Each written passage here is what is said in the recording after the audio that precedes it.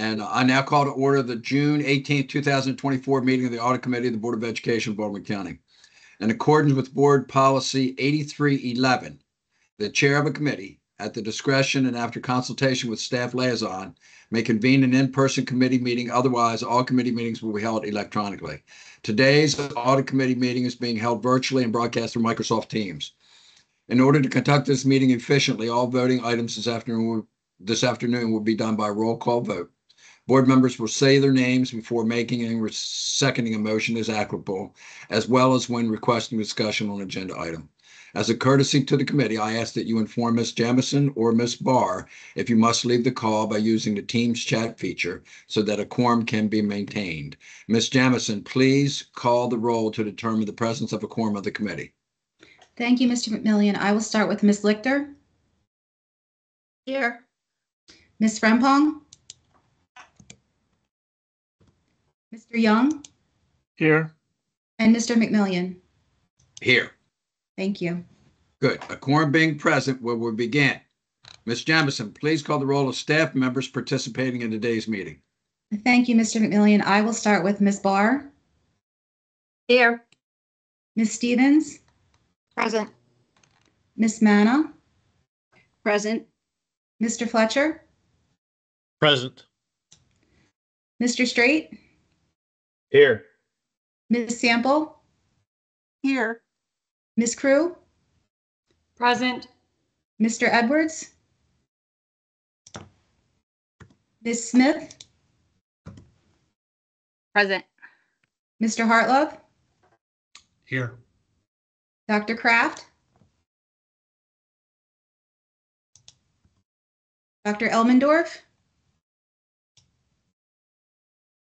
Ms. Forbes, Mr. Fazino, Ms. Schumacher, Ms. Wendland, Mr. Welsh, Ms. Hunton, Mr. Garrett, Mr. McCall.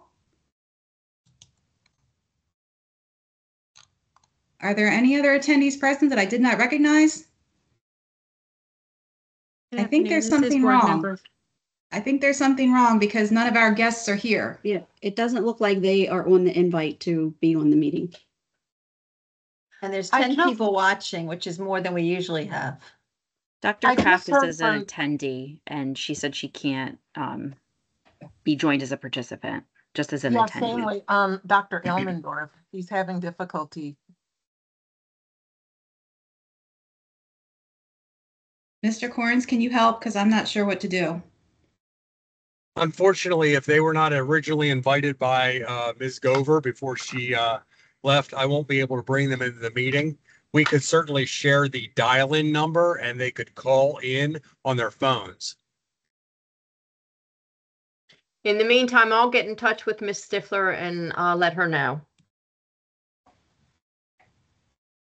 And, and Ms. Barr, um, because, uh, Ms. Gover is the originator of this meeting, Ms. uh, Stifler will be able to help us as well.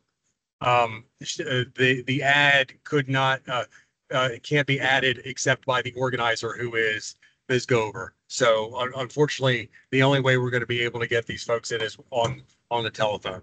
Let me grab that content. I'll put it in the chat so that, um, individuals can share that with their teammates, okay? Okay, and Mr. Jim, what do we do? What do we do between now and then? Mr. McMillion, I, um, I certainly could, uh, recommend some things. I mean, it, it shouldn't be that long to get the names put in. So, um, and, and, and start to do the dial in. I don't know if the order of the agenda could be adjusted in any way to help if some folks are here or not, but that would be my only recommendation, sir. Okay, so I see it appears twenty-seven people are on the outside. I see twenty-seven people posted up at the top. Okay, you do what you do your thing and let's see if we can get them in here quickly.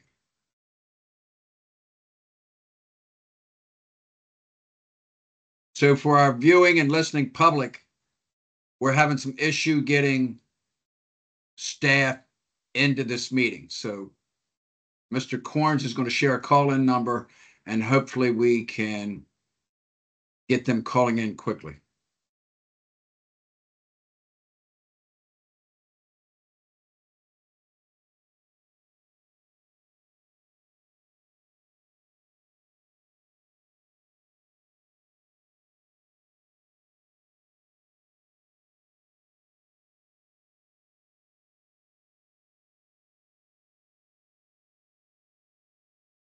Mr. McMillion, I have posted that dial-in number in the chat. And so that could be shared out. Okay, great. Now, do I need to do that from my end? I see what it appears to be the there was a so what do we I don't see that in my chat box. Um, Mr. McMillion, I see it. The number for people to call in on is one, three, zero, one. Uh, Not- um, I'm, I'm, I apologize to interrupt. That, uh, number is getting live streamed out. So we may not want to read it out loud. Sorry, Well- Mr. McMillion, I'll text it to you, sir. Okay, but how do we get it to the people that are trying to get in? Um, so I don't know if we have any staff that are currently in this call that are associated with those individuals. Um, I've sent it to, uh, Dr. Elmendorf, uh, to, uh, via text. I don't, uh, I'll try and look down the list to see who else is, um, available in through my, um, my phone book. Okay, and and then and and uh, and why can't we send that number out? Well, they're Uh, not listening, so that's one thing. They're not on it to hear it. Well, Okay. and, and so, uh, and Mr. McMillion, it would allow anyone in the general viewing po- uh, populace. Now, I, I, I don't know how many folks that's going to be. We certainly could read it out and, and have it be a, um, uh, in the, in the record. It, it will just be that we'll have to identify every number and only accept the ones that are the staff in case we were to run, run someone else into the meeting. It's not a, not a huge deal. I'm, I apologies for interrupting. I did, just didn't want it to happen with us not knowing some of the, the risk that might be hiding underneath. Okay. I trust your, you know, professional opinion. Thank you.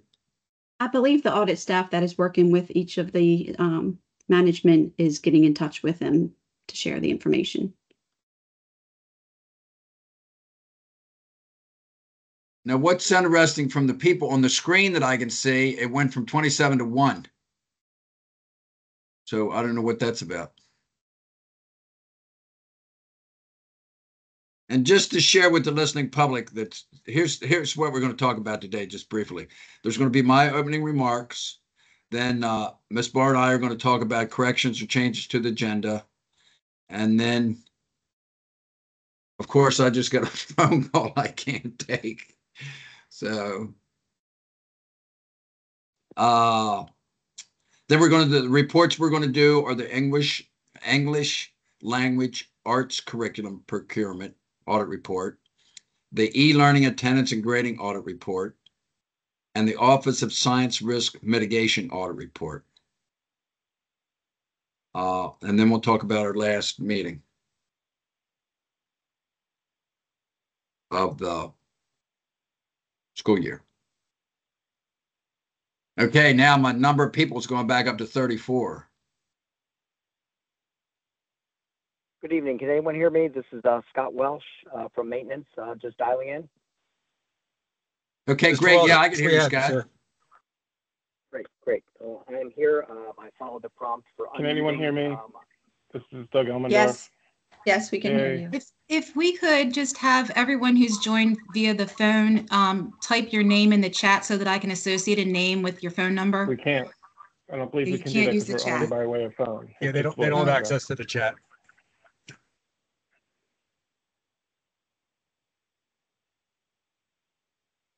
Should we take attendance again, Mr. McMillion, of Sure. staff? Yeah.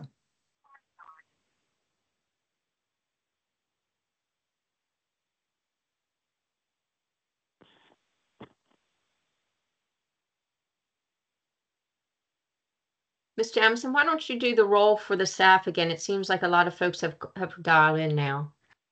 Okay. Um, Dr. Kraft? Present. Good. Thank you. Dr. Elmendorf? Present. Thank you. Ms. Forbes? Present. Thank you. Mr. Fazino?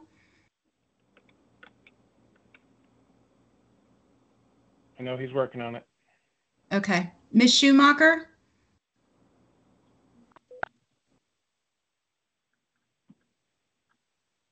Ms. Wendland? Present. Thank you. Mr. Welsh? Present. Ms. Hunton? Ms. James? Mr. Garrett? Mr. McCall? I know he's trying to get in, Mr. McCall. Any other attendees present that I haven't recognized? Okay. This Okay, is Board Member Frimpong. I am present. I wasn't sure if you guys could hear me when I I said got you present. in at uh, 4:35 PM. Thank you. Thank you. And this is Mr. Fazino present as well. Thank you, Mr. Fazino. Ms. Frempong, you are loud and clear. Thank you. I just got an email from Miss Hunt, and she says she is on and can hear everyone. Okay. Ms. Hunting, can you respond to roll call?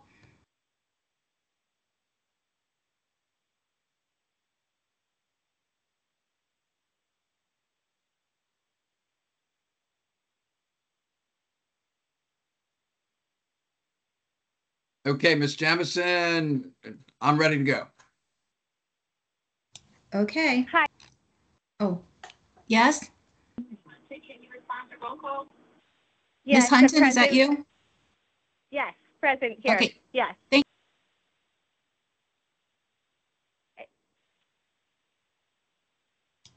Okay, I believe we have at least one person here from every area, Mr. McMillion, for the staff. Okay, okay, Okay, great. Then I'm going to move on. Okay, And I, uh, I apologize. How do I mute myself again? Yes. Star six. Okay, thank you.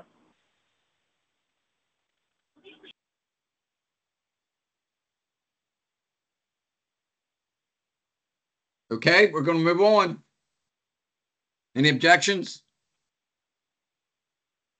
Okay, uh, listening public, I'm very sorry for the confusion with this. It was an issue of staff being able to attend this meeting via the Teams program versus calling in. So we, we think we're squared away and we're going to move forward. My opening remarks. Good afternoon. If committee members have questions that are outside the scope of the reports presented this afternoon, please email Ms. Barr or me with your questions. We will follow up with appropriate individuals to get answers to your questions. Consideration of the June 18, 2024 agenda. Are there any corrections or changes to the agenda? Good afternoon, Mr. Mc- McMillion. Thank you. Yes, I am requesting the postponement of the approval of the Office of Internal Audit FY twenty-five, FY twenty-eight work plan, and that a special meeting be held on or before June twenty-eighth for the committee to approve the plan. In accordance with policy eighty-four hundred, the audit committee must approve the work plan by June thirtieth. And since June 30 is a Sunday, I'm asking that the special meeting be held sometime between now and June twenty-eighth. And I just want to say that Miss, you know, Miss Barr had her work plan together. There's been some input from other individuals, and that's delayed, you know, the presentation of this work plan to the committee today. So we need to make some adjustments. Uh, are there any objections to postponing the approval of the plan and until on or before June 28th? Committee members, any objections? This is Board Member Frimpong. Uh, So how then is that going to work? Will we just decide amongst ourselves the next best time to meet between now and, and June twenty-eighth? And is this something that we have to do in the open meeting again? I'm pretty sure that we're gonna have to do it. I've got another phone call here. I'm sorry. People are calling me on my phone. Uh, I think that's the thing about the twenty-eighth. Is trying to give enough time for the, to get, to get it out there, the fact that we're gonna have another meeting and, and, and we meet those requirements with the Open Meeting Act. Uh, I'm looking at my script. Okay, now, there's a pause. If there, I'm reading the script now. If there is an objection, then process as a motion. Without objection, the work plan approval will be postponed and a special meeting will be held on, and I'm giving a blank. So we have to come up with that date. Now, I'd, if, if we can make the twenty-eighth, the twenty-eighth is a Friday. Committee members, can we make it? Are you available on the twenty-eighth?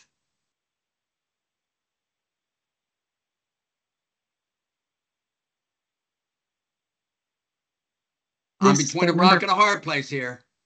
This is Board Member Frimpong. I can make the twenty-eighth for virtual, yes. Ms. Lichter, Okay, I can make do it also. What time do you prefer, either of you? Uh, we could do early afternoon at 1.30. Okay, 1.30, Mr. Young. One thirty on Friday, June twenty-eighth. I'm checking my schedule right now.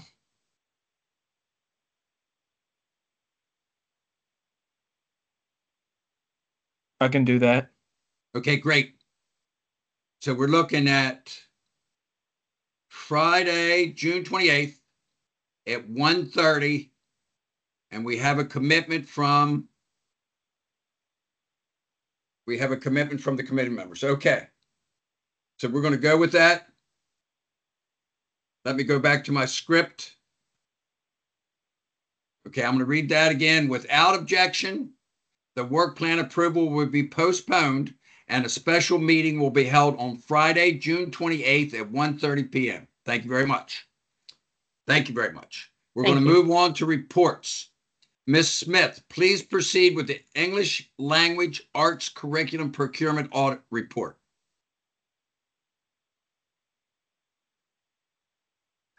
Okay.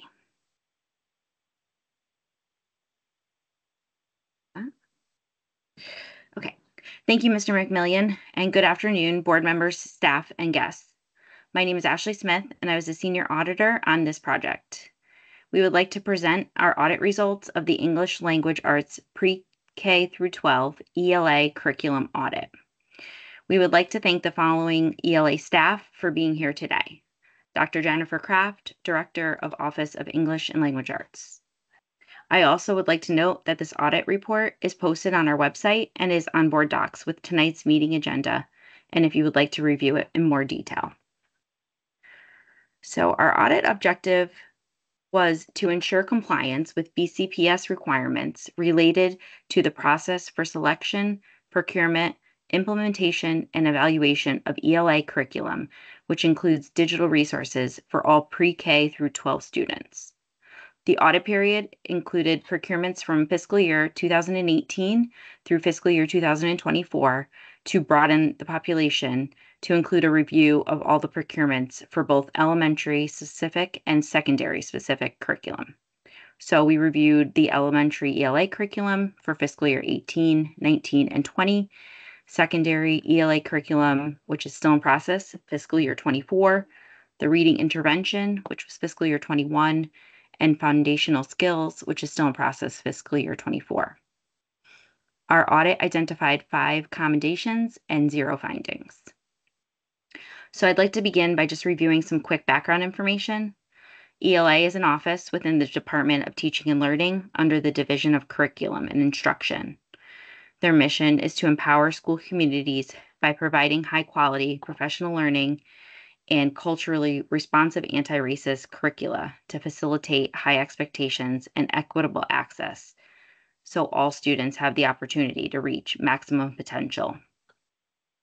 In accordance with their mission, the ELA staff works to identify, purchase, monitor, and then revise the elementary and secondary language arts curriculum to re- provide resources for responsive instruction that is customized and it's personalized for all students. The process of selection for the selection of the instructional materials is governed by Policy Rule 6002, Instruction Selection of Instructional Materials, and then additionally incorporating some federal, state, and district requirements. So first I'd like to review the commendations in the audit. Commendations are areas within our audit that we reviewed with no exceptions or findings. First, I just want to thank the Office of Language Arts personnel with their prompt response during this audit process. Dr. Kraft was very helpful and very responsive, so thank you for that. As part of our audit, we wanted to touch on um, their communication that we had throughout our audit and to our audit requests. The director of ELA was prompt and responded again to all audit requests and provided very detailed explanations when follow up was needed. We also reviewed documentation of the SOPs. The director of ELA continues to refine this documentation process in order to provide organized, consistent, and complete electronic procurement folders that support compliance with the policy and Rule 6002. ELA staff plan and implement training over new curriculum. Additionally, there's asynchronous training materials available in school Schoology for staff hired after implementation. Curriculum is also reevaluate, reevaluated throughout the pilot, during the contract period, and before renewal by using surveys, focus groups, and data analysis. Evaluation results are then shared with the board's curriculum committee. And lastly, MSDE updates. ELA staff attend with monthly briefings with MSDE so that they are kept up on changes in any state requirements. And meeting notes are then shared with all of the ELA staff and addressed at monthly team meetings. Additionally, the chief academic officer receives any um, updates through a superintendent weekly from MSDE, and that is also shared with the ELA staff. There was a limitation within our audit, and that was due to the cyber attack in November of 2020. Some of the requested documentation was not available for review for the elementary ELA curriculum procurements that were initiated prior to that time. And lastly, we are happy to report again that there were results of the internal audits review. We disclosed no reportable issues with the process for selection, procurement, implementation, and evaluation of the ELA curriculum. So I'd like to turn it now over to Dr. Kraft if she would have anything that she'd like to add.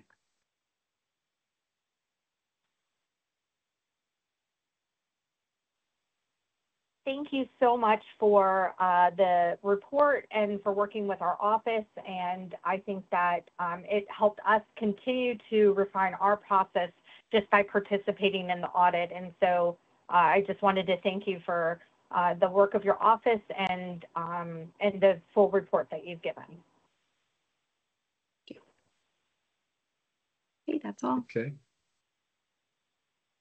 Okay. Uh, Committee members, any discussion on this item? Uh, Ms. Frimpong, I said hand raised, please. Good afternoon. Um, this was great that this was a audit that did, that had favorable findings, um, meaning no issues. The only question I had was, um, for the scope. Um, I noticed for elementary ELA that the dates were pretty far back. It went back to, um, fiscal year eighteen. Um, but then for our secondary ELA, it's actually still in process, and those are more recent, um, fiscal year 21 and fiscal year 24. So why the that discrepancy or distinction um, with going so far back for elementary ELA as compared to the new, the more recent years like the other ones are?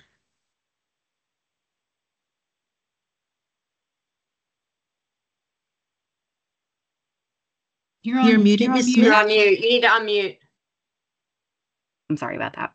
Um, we looked at the curriculum that was being used currently um, within the each of the areas. So in elementary, there was some curriculum that was being used that was put into place in fiscal year 18, some in fiscal year 19 and fiscal year 20, where it for secondary, it's um, in the process of being updated and for 24. So that's why we looked at what's being used currently within this most recent school school year. Got it. Thank you. You're welcome. Staff or uh, committee members, any more questions? I've got one. Dr. Kraft, I've received several questions from a concerned citizen, and I'm going to try to consolidate them uh, into, you know, maybe one, a couple broad questions. And I'm I'm just curious. I think the person makes an excellent point. You know, the, the results. You know, let's just let's let me. The review process looks great on paper, the individual says. And then she she goes to point out, how about the kids? How about the kids in these pilot programs? That you know, we try these pilots and then we make a decision to go a different direction. So how about the kids? And and the and I think the question is is is worthwhile. To, you know, when are the kids going to be first in this process? So we do a pilot. We we look at the information, we say, okay, we're not going to do that. We're going to change directions and, and go a, a, different route. And then those kids, now, you know, so often people say our kids are way behind as, as, as it is. So now we've done this pilot and we've made the decision. Is there a, it's some better way that we can go about this that the kids we aren't, you know, and to use this woman's phrase, you know, the guinea pigs. And is there some other way that we can go about doing this where the kids aren't the the you know the subjects to see if it works or not? Dr Kraft, what do you think? Um, so thank you so much for that question. And you know we really do try to center our students first in all that we do um, and the purpose of a pilot is exactly to make sure that we're not putting forth a five to seven year contract for something that students don't engage with, that it doesn't move data. Um, and so uh, when we do pilot materials, we've gone through, um, there's actually a three-tier process, which, um, which is why this is this question dovetails nicely with the work that has been done um, in internal audit. Um, so they were actually looking at, well, what is our process for selecting materials? And so, you know, the first thing that we do, I mean, obviously we follow all of the 6002 process, um, is we issue um, an RFI looking for a very specific product with criteria that we've outlined. Um, and then when those materials come back in, um, we then review them with a rubric, and the rubric is based on those criteria that we put out. So it's it's really not it's a completely transparent. There's no secrets. Uh, the rubric aligns to the criteria we put out. Um, anyone that meets the, the that basic criteria goes to a more in depth. Um, in that second round, um, we actually have lots of stakeholders involved, so parents, uh, teachers, teacher leaders, administrators, um, central office, um, even community members um, that you know help us review the material. Uh, we then typically go to a vendor review, so we've narrowed it down even more based on that second round review, um, and we have the vendors come and present so we can see the materials more um, at that point, sometimes we're, we're down to more than one product that is very favorable. And I think the best example I can give you is in elementary, we had narrowed down to one product um, in the first uh, in the first round, um, and we piloted it, and we got a lot of feedback uh, about that it was not working in BCPS for a variety of reasons. Um, and so we were, we then were able to pivot to our second highest product. Um, and the result of that pilot was very favorable. And, and as such, we put that forward. Um, and so what I would like to say is that we're not trying to make, um, you know, students guinea pigs for sure. Uh, what we are trying to do is make sure that the product we select has been thoroughly vetted. And part of the student process is, uh, Mr. McMillion, is actually having focus groups with students. So in addition to going and observing instruction, Um, we do uh, two different things. We do surveys of students, and that usually, you know, obviously happens through their English class or ELA block. But then we do focus groups or interviews with students to, to actually listen to do they like the stories? Or is it engaging? What did they is it too easy? Is it too hard? What did they like? And so all of that is part of the process so that we can really make a good decision um, because at the end of the day it is about the student and whether they're engaging the material because they're not if they're not engaging in the material um, they're not going to learn at a high level and so um, I, we do, we do always try to get down to a product um, but that doesn't mean that's always the product that goes forward. Um, did that answer your question or do you want Yeah, some more specific? Yes, it does. And I, and I have one follow-up to that. During the evaluative slash vetting process, how much of a, of an analysis do we do of, of these different products having been used out in the public school, you know, across the country? Uh, Um, do we, do we look, That, yep. go ahead, please. Oh, no, no, finish your question. Sorry, I got excited. Go ahead. No, that's, that's it. Just looking at Okay. it out there where people are already using it and analyzing Yeah. their results before we bring it back and, and implement it in a pilot within our setting. Yes, so that is a hundred percent. Now, here's the interesting part. Within the RFI, we ask for references. Um, and so I obviously always call those refer, me or somebody on my team calls those references. Um, but what I like to do is, in addition to that, is I like to scour the internet and see who else is using it, right? So somebody that isn't necessarily listed on their reference list, um, and call them. And so I'll use the example of secondary uh, because I, I just recently called um, a couple of districts. I mean, I basically cold call, right? Um, I found a district, uh, Boston Public School, and then I found um, Chapel Hill um, School System in North Carolina that have both used um, StudySync for four years. And I felt like that was a good time to say, would you do this again, right? So I reached out to both of them. I said, I know everybody's busy. Would you mind spending a few minutes with me? Here's why. Both um, both uh, districts got back to me immediately. Set up, and I've talked to both of them.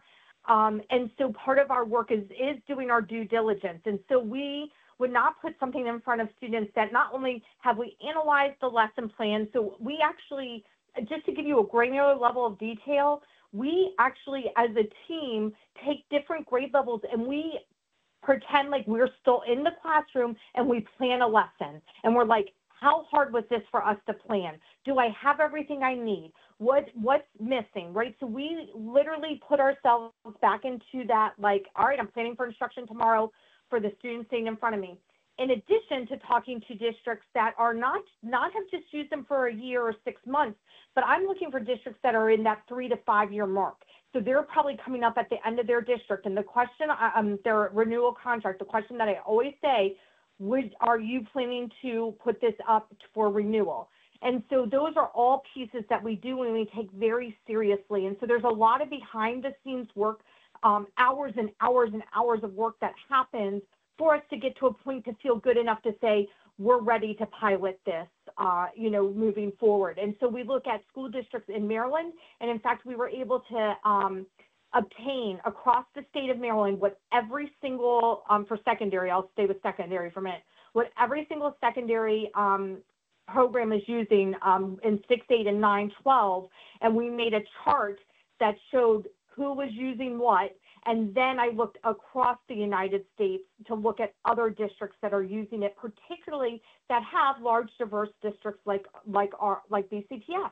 And so we really are looking at like what did the state data say? How is it moving? And and all of those pieces are taken into consideration. And so I appreciate you asking the question. And and like um, Ms. Smith noted a few minutes ago, we're constantly improving our process. So I would say that the RFI that I did three or four years ago, that since then we put even more um, things in place to ensure that we have the most rigorous process as possible because we want when we put something forward to pilot, we're saying we're, we're like we're like okay we're like going to go steady or we're going to like be engaged right Um, and we're going to be married once we put the contract forward. So we're saying like, hey, we really think this is it.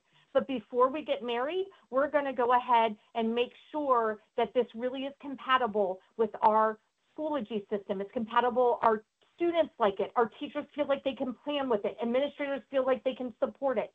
And when all of those things happen and is successful, then we move it forward for a contract.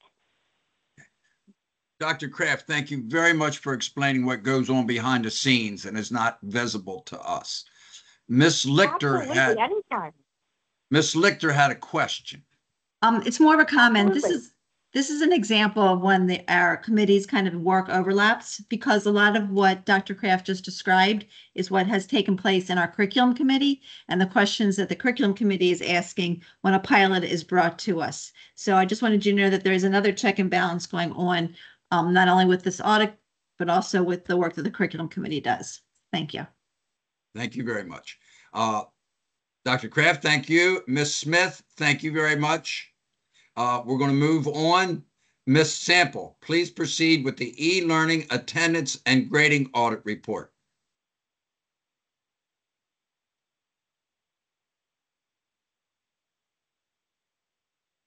Thank you, Mr. McMillion. You're Um, welcome. I'm sharing my screen. I'm wondering if you can see. Yes, I can. Okay. Again, thank you, Mr. McMillion. Good afternoon, committee members, staff, and all others attending. I am Sandra Sample, one of the senior auditors in the Office of Internal Audit. We completed the e-learning audit and issued the final report on May 30, 2024. The report can be found on BoardDocs for this meeting, and it is posted to Internal Audit's website. As we discuss the results of the audit, Dr. Elmendorf, Executive Director for the Department of Academic Programs and Options, and also Ms. Julie Forbes, Director of the Virtual Learning Program, are here to address management's corrective actions. Okay, so the e-learning program provides BCPS students in grades 6 through 12 access to courses in a virtual environment. The objective, the audit objective was to determine e-learning requirements for attendance, grading, and instructional support for e-learning students. We reviewed the current school year, the 2023-2024 school year for this audit. Um, I'd like to briefly discuss some of the data um, related to e-learning. As of March 15, 2024, there were 676 e-learning students as of March 15, last March 15. The majority, uh, 506 of those students were in e-learning by choice, with the remainder in e-learning by designation or were um, home and hospital students. Um, an example of a designation could be a student is designated into e-learning because of a discipline decision. Next, um, we show the e-learning students requiring educational support. As of last March 15, 36 e-learning students had IEPs, 91 had 504 plans, and 26 were ESOL students. Uh, I'd like to note that during the current school year, the e-learning program is separate from the virtual learning program. The virtual learning program provides both synchronous and asynchronous learning, and students can learn both live and self-paced. Students are co- co-enrolled with their primary brick and mortar school. With the e-learning program, students participate in live classes with teachers and other students. Now, starting with the 2024-2025 school year, the e-learning program and the virtual learning program will combine into a single program called online learning, which will be a combination of synchronous and asynchronous learning. Okay, before discussing the results of the audit, I'd like to talk about the commendations.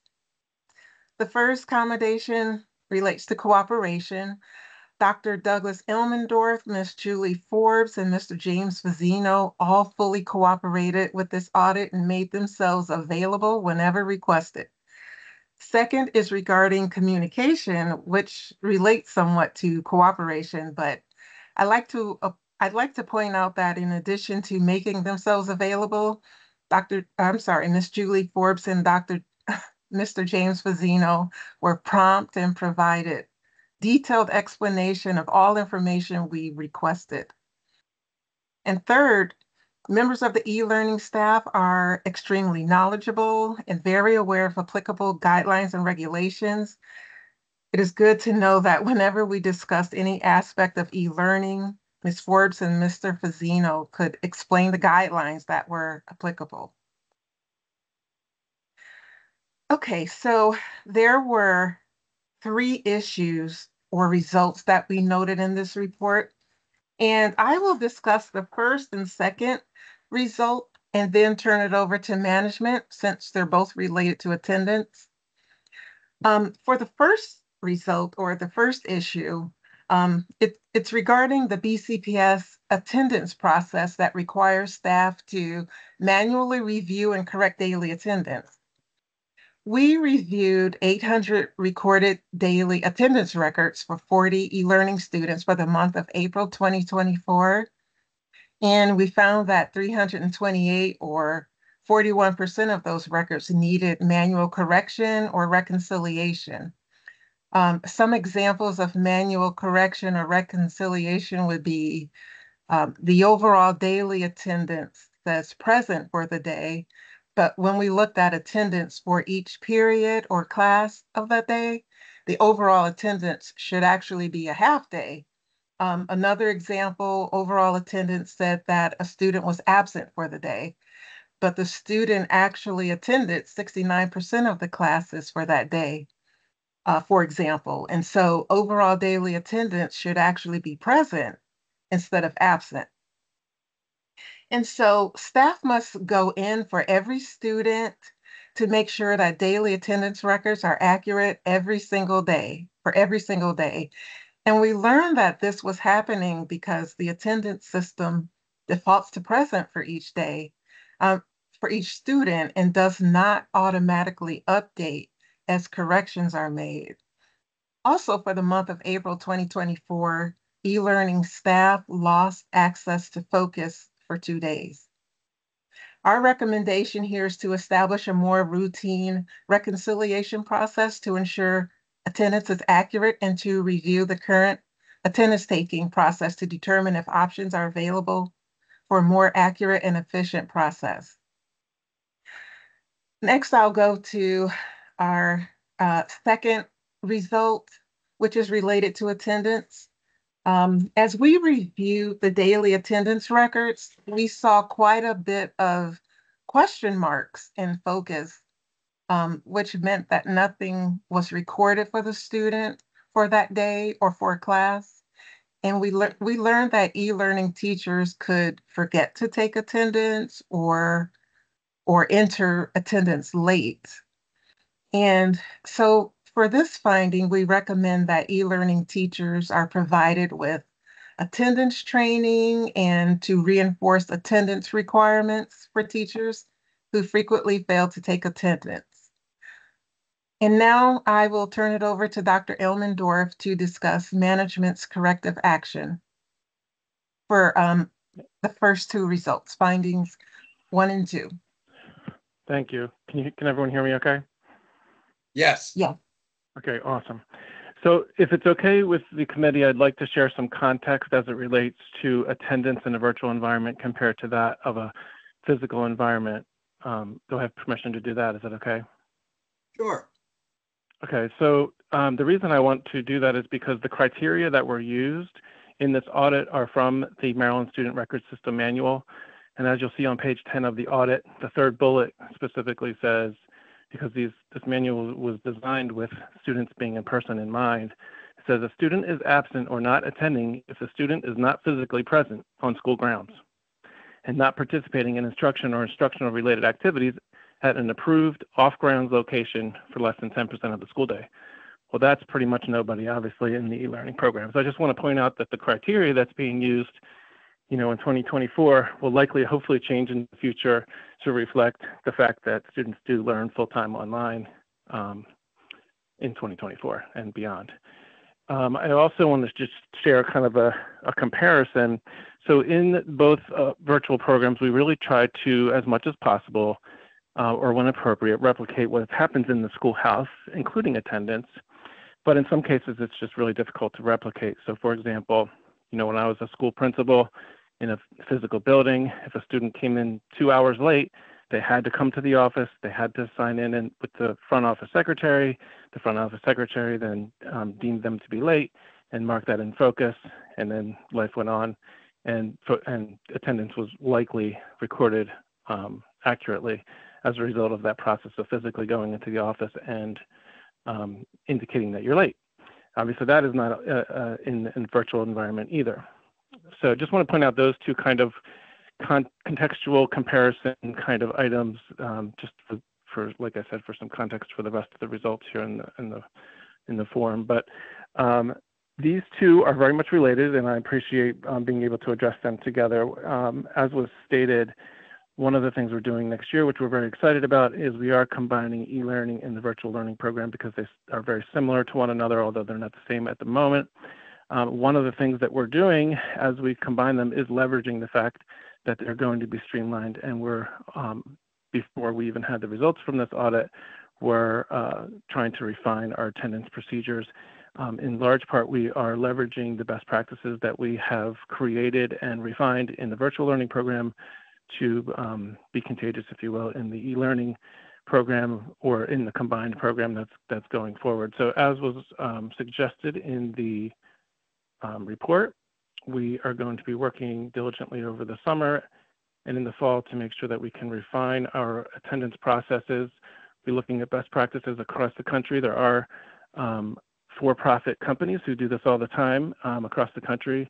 Stride Incorporated is one of the largest ones, and they obviously take attendance. So we're going to be doing some research to see what some of the best practices are for taking attendance in a virtual environment, and then um, make sure we communicate to our staff as to what those are and train them on how to to take um, attendance in a more accurate manner that really represents um, attendance in the virtual environment. Thank you. Thank you very much. Committee members, any questions? I don't see any questions. Dr. Elmendorf, I have two questions. Yes, sir.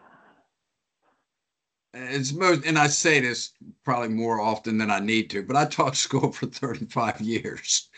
And taking attendance was a responsibility of the teacher. I don't understand how people can go in a classroom and not fulfill a, you know, you know, it, it, we used to be told that that was like a legal document that if something, you know, that you had to show whether the child was, you know, in school or not in school. And I don't understand how people are not doing this. Any comments? Yes. Uh, well, as a person who has been a physical principal in a physical building, I can tell you that it's not that problem is not um, indicative only to an online environment. Um, I think teachers are so um, interested in making sure that they're addressing the needs of the kids in a finite amount of time that sometimes attendance taking um, is something that is not uh, remembered. I can tell you that my front office secretary in, in, the school I was in most recently made daily calls to classrooms saying you need to submit your attendance, you need to submit your attendance, which is something we're looking to do in the virtual environment where uh, someone in the quote front office can determine daily um, whether or not attendance has been taken, and if not, they can contact that teacher and say, you need to take attendance, you forgot to take attendance. One of the good things about virtual environment is that Google Meet um, does pr provide a, a list of folks who were in the meeting, whether it be adults or students, um, at the end of the meeting, um, does that automatically. So there are some advantages to being online, but there are obviously some of the disadvantages that I mentioned as well. But um, I guess I would say in, in summary that uh, attendance taking on by behalf of teachers is not something that's uh, only happens in the virtual environment, and we're going to look to um, uh, hold folks accountable for taking attendance just like we would in, in a physical schoolhouse and refine those efforts in the virtual environment as well. Okay, thank you for that answer. And how about cameras? Are the cameras going to be on in the new setting? That's Do the kids have to have the cameras on? That, yeah, that's um, a really good question. It depends. So what we're not doing, I'll, I'll start with this. What we're not doing is we're not doing what we did during the pandemic, which is nobody needs to turn on their camera. We'll just assume you're there. So you'll see, I think in the report here that it says specifically that students need to either turn on their camera when attendance is taken to show that they're there, or they need to turn on their microphone um, so that we know it's not someone else that logged on or that the student logged on and, and went away and didn't come back kind of thing. So um, what we're talking about this summer is, so right now we require students to do that once during the class period to, to make sure that they're actually there at some point. We're talking about increasing the frequency with which we request our students to either put their mic on or their camera on. Um, and so it depends on what's happening instructionally. So if, if students are doing some independent work, the, the need to have a camera on isn't as great as it would be if there's a you know a class-wide discussion that's going on where teachers want to see students' faces and, and see how they might be interacting with the other students in the class. I- I would encourage you to increase the frequency on that, but that's up to you. Okay, thank you very much. Ms. Sample, thank you very much for the report. We're going to move on. Mr. McMillion, we have one more Yes. finding. We have one more finding here. I'm sorry, I'm sorry. Ms. Sample, please continue. Oh, no problem. Okay, so the third, the last issue um, is related to grade code for missing assignments. Uh, we found that there were inconsistencies of which code to use when a student missed an assignment or did not turn in an assignment. E-learning teachers inconsistently used the lowest score LS grading code, which is a 50% score, instead of the missing M code, which calculates as a zero for the missed assignment. If a student does not turn in anything at all, there is a concern that giving them a 50% instead of a zero could artificially inflate a student's grade. Um, we learned that the BCPS grading and reporting procedures manual contained language that allows for the interpretation and use of grading codes. The grading manual says that codes may and can be used. And because there's room for interpretation, uh, we recommend that e-learning staff consult with the chief academic officer to ensure consistency in the implementation of the grading manual. Training and support should be provided to e-learning teachers to ensure that they understand and adhere to the established guidelines for grading missed assignments. I I will turn it back over to Dr. Elmendorf to discuss management's corrective action. Thank you. Yeah, as you'll see on the document here, Dr. Um, DiDonato has already um, put into words uh, some of the corrective action on her part. Uh, I think, as was alluded to, what the e-learning staff was doing as it relates to grading was not incongruent with the language in the grading and reporting manual. Rather, this is, and we discussed this um, when we went over these findings. This this finding is really a finding of the grading and reporting manual uh, more than it is a finding of teacher grading because um, as I've heard at board board meetings, um, this is a concern that um, folks bring up from time to time about what's happening in our schoolhouses as well, and that is the um, so the variety of interpretations of the, the manual and what numbers can be and should be put in for certain um, types of performance on an academic um, assessment or activity. And so uh, the chief is very much uh, committed to updating the grading and reporting procedures manual in the very near future to be more specific and um, clear so that uh, there is less inconsistency and, and fewer um, perspectives that can be had for, for grading assignments that are not submitted. Thank you, Dr. Elmendorf. Um, so we've reached the end of this um, audit report. Once again, I'd like to thank Dr. Elmendorf, Ms. Forbes, and Mr. Fazzino, and also Mr. Paul Muller for their cooperation during this audit. Um, Mr. McMillion, I will turn it back over to you. Okay, great. Committee members, any questions?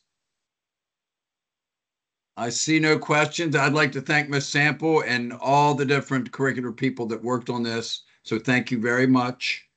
We're going to move on to our next report. Ms. Crew, please proceed with the Office of Science Risk Mitigation Audit Report.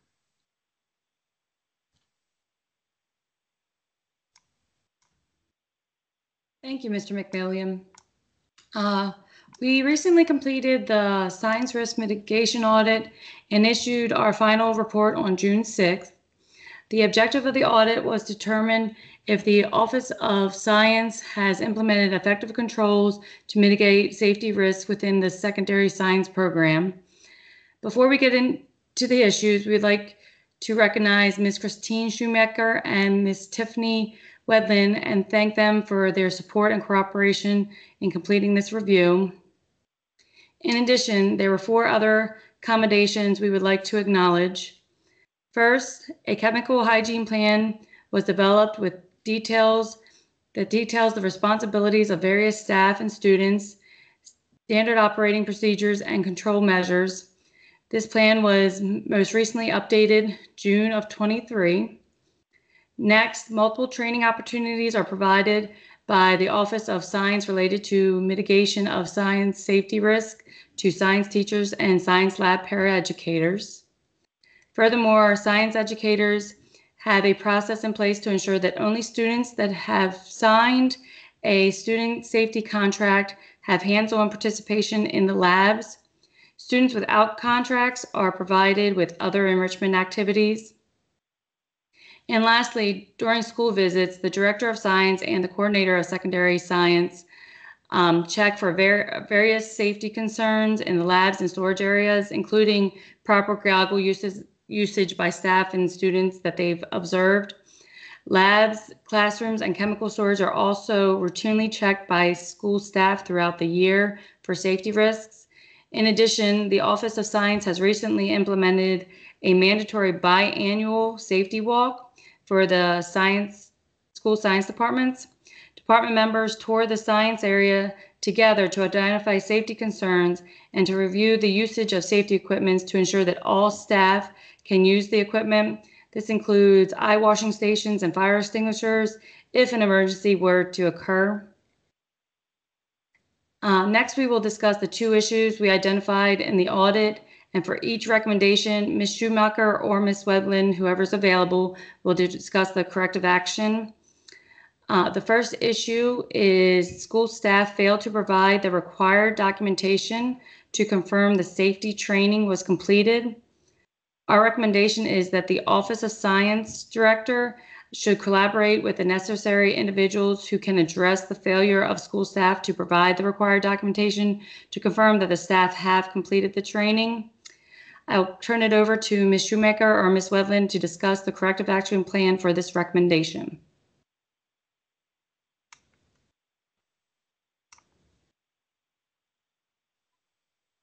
Good afternoon, this is Tiffany Wedney. Can you all hear me? Okay. Yes, we can hear you. Okay, good. Okay. Um, um, so what we have done is we have developed an additional um, onboarding document for our science department chairs to help them navigate the initial safety training as well as the required documentation ahead of time. Um, we have a new science specialist coming on board July the 1st that will have the opportunity to work more directly with our science department chairs to ensure those those papers are turned in. Um, obviously, we communicate with our department chairs frequently about the turning in of those papers. It's not that they're not doing the training in most of the cases, it's they're just not submitting the paperwork. Um, so we will continue to work with our department chairs as well as um, a formal email from our director. And then if compliance is still not met, it will include the principal. Um, and beyond that, the executive director. But I think with the add, um, addition of our um, science specialists, we'll have the opportunity to make sure that all of those forms are in. Thank you, Ms. Wedlin. The second and final issue is that science safety equipment work orders are not resolved timely. Our recommendation is that the Office of Science Director work with the Department of Facilities Management and Strategic Planning to develop and implement a process to prioritize critical science safety-related work orders to ensure that all safety-related work orders are completed timely. Again, I will turn it over to either Ms. Schumacher or Ms. Wetland to discuss the corrective action plan for this recommendation. Uh, Thank you again. It's, it's Mrs. Wendland. Ms. Schumacher is on. She just uh, can't speak. So I'll speak for both of us. Um, We will definitely meet with the Office of Facilities. I believe that they are also here um, to discuss our timelines for the work orders. Um, Our meeting schedule will be uh, set up to ensure that those meetings occur quarterly um, and to work with facilities to determine which, um, which of the work orders are um, more immediate or prioritized or should be a priority area for um, our to fix or to come get the chemical disposal or the eye washes or something like that. That that would be the like tier levels of priorities.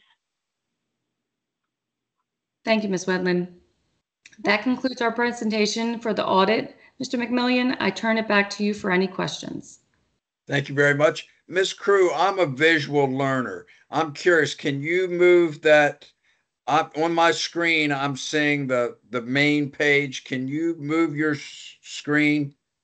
Change that so I can, yeah, yeah, yeah, please. What, do- what would you like to see on this? The, the recommendations, the, the findings. Okay, great. So here's the first Okay, finding with the recommendation.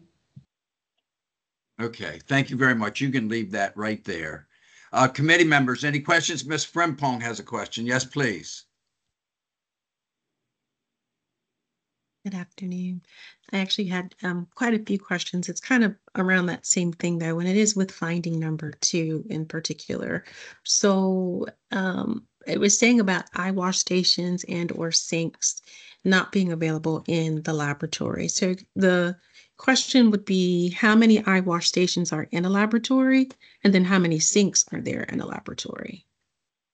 Is it just one and one or is it are there multiple ones available? Um, generally, in a classroom, there is one eye wash available. Sometimes there's one sink, sometimes there's multiple sinks. So in the cases where those eye wash stations and or sinks were not available, what alternatives or what options were given to the students and staff to use? Uh, thank you. That's a good question. I appreciate it. Um, so generally, there is um, some guidelines presented by not only OSHA, but the Maryland State Department of Education about how far um, the eye wash stations as well as gallons per minute and, and things like that. So we do follow those guidelines. Um, for example, um, some of our um, high schools have grown and so science classes are in non-science classrooms. Um, so we have purchased um, a portable pressurized eye wash station for the classroom or there is an eye wash that is within a three second movement um, in a uh, like a, a, storage area between two classrooms so it's always available um, within a certain amount of uh, walking distance or time to get to um, the station. Um, if that's not, if there is not one available in that particular classroom, teachers will um, switch classes to do particular labs so that they have those needs met. Um, this is obviously a more common issue in our middle schools. Um, our high schools tend to have the eye wash stations and the showers built in. Um, the middle schools, sometimes all the classrooms aren't, aren't uh, don't contain water or access to water. So um, each school has their own individual plan based on what is is available in the school to, to meet their needs.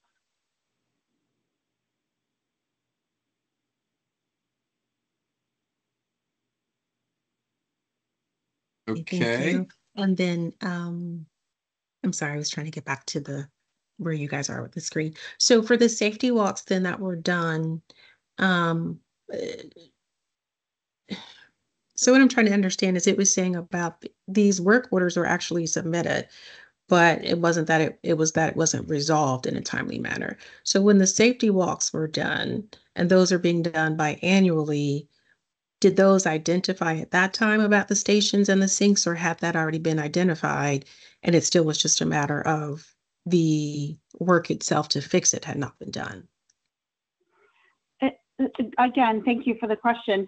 Um, Generally, um, our department chairs in our chemical hygiene plan that Ms. Crew mentioned earlier, um, our department chairs have a safety checklist that they have to abide by. So they have to make sure that the eye wash stations are in place and functioning properly um, every year at the beginning of the school year. They have to make sure that the goggle cabinets are in full working order. They have to make sure that it's uh, you know, fresh water, clean water um, coming through those eye washes and um, showers. So most of those work orders have been put in prior to um, the safety walk that was just this spring. Um, but sometimes as more um, safety, um, the checks come in, more work orders also follow. Uh, so department chairs are, like I said, they have a we've created a uh, a table basically. It's like a schedule you know in january you you test the um, eye wash station. In february you test the the um, safety shower. You make sure that the chemical storeroom is up to date and there's no expired chemicals. You do the chemical disposal as needed. So we do have those um, we like uh, ms crew mentioned that chemical hygiene plan is pretty specific on what the department chairs um, need to do on a regular basis. Okay, and then the last one, I guess, would be for the, for maintenance, because with the science departments doing their part as far as submitting the work orders, but then the work not being able to be addressed, my question would be, do we really have enough maintenance personnel in our facilities management and strategic planning that's able to address, address the work orders? Um, it was saying there's about 1,000 work orders open at any point, and there's about 40,000 a year. And so right now with these safety related, that's an average of 50 days, which is, I guess if that's calendar days, that's almost two months for getting resolution to science equipment safety related work orders.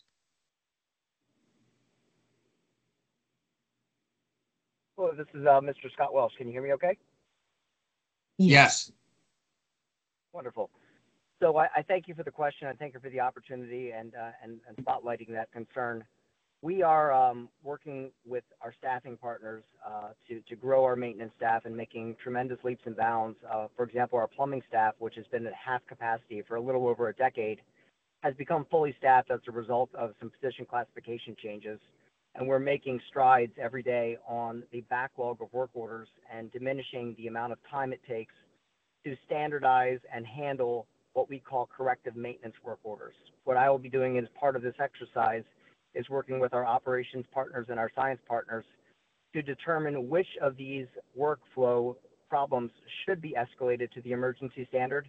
And our protocol for addressing emergencies is 24 hours, which is substantially a, a better, a better sense of, of getting these, uh, these safety devices functional as quick as possible it's a very linear approach. And when you add that to heating, venting, air conditioning, uh, you know, any kind of sewage backups that might occur.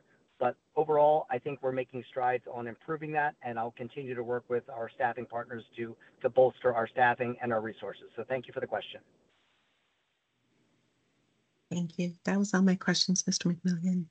Okay, great. Uh, committee members, any other questions? Ms. Crew, there doesn't appear to be any other questions. Ms. Crew, thank you very much. Thank all the different people that assisted with this on the BCPS staff side and also the audit side. Thank you very much. Uh, we're going to move on. Ms. Jamison, please proceed with the ADA accommodations audit report. Good afternoon, everyone. Today, I'm going to present the results of the ADA accommodations audit, and I would like to thank Ms. Hunton for being here with us today. She's from HR. This report is posted on our website and on BoardDocs.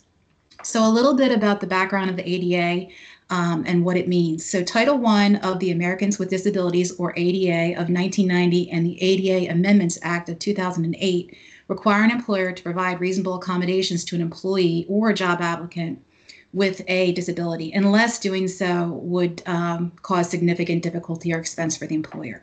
So within BCPS, our EEO office is responsible for receiving and resolving these requests for workplace accommodations under the ADA. Our audit objective was to determine if ADA accommodations activities are compliant with district policies and procedures, as well as ADA laws and regulations. And the results of our audit, we identified two commendations and two findings. The commendations were we got really prompt responses from the EEO officer, along with other people in HR, whenever we needed an explanation or when follow up was needed. They were uh, very good to work with. And secondly, BCPS has made ADA accommodation information and request procedures very easily accessible on the website. So any employee who had a question could easily find out how to how to go through the process and how to start the, the ADA accommodations request process. Now on to the findings. Uh, the first finding was that SOPs have not been updated recently and are not always reflective of current practices. So we recommend that management continues to regularly review, update, and communicate the SOPs. And now I'm going to turn it over to Ms. Hunton for management's corrective action plan.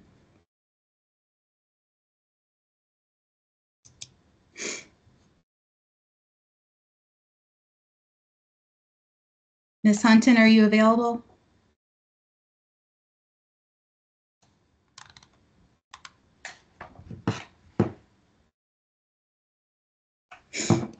Don't think she's here uh, or she's not responding. So uh, is anyone else from HR on the call? Hello? Hello, Ms. Hunton?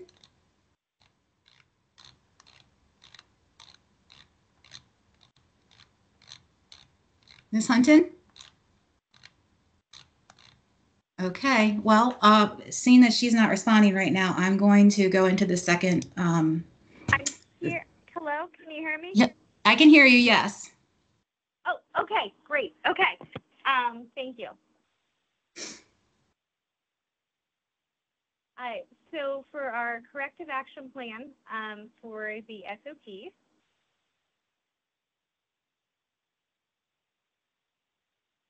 we will be updating all of our existing ADA SOPs, um, reviewing them and updating them to reflect current practice and compliance with our applicable law. Um, we are going to draft new SOPs uh, to reflect processes for ADA decision appeals, ADA accommodation expiration and renewals, and ADA management review process. And we will be conducting a review of SOPs each fiscal year and we'll make updates as needed. Updates will be reviewed with the EO office personnel responsible for processing those accommodations to ensure that the practice is consistent with the drafting SOP.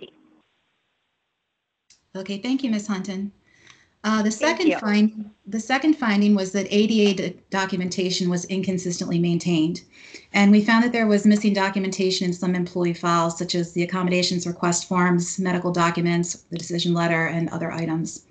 We recommend that the Office of the EEO evaluate their existing procedures to ensure that they're clearly defined and consistently applied, and also to provide training for staff in um, implementing the procedures. We also recommend that management should conduct reviews of ADA files on a sample basis to ensure that they are complete and have all the required information. And again, I'll turn it over to Ms. Hunton for management's corrective action plan. Uh, Thank you. Um, Our team will be working with an external consultant to provide education and training on leave under the ADA and the intersection section with other laws to management employees as well as all EO office personnel responsible for processing workplace accommodation requests. Education on workplace accommodations related to pregnancy will be provided uh, to all staff, including all EO office personnel responsible for processing workplace accommodation requests. Training on office processes for review of workplace accommodations processes will be provided by the Director of EDR to all EO office personnel responsible for processing workplace accommodations. And a routine review of select ADA files will be conducted by office management.